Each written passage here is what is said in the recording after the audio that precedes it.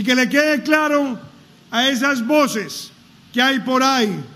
que tratan de insinuarle a la ciudadanía que no se vacune, que es que la vacuna no sirve, que no pretendan sembrar más el caos en Colombia.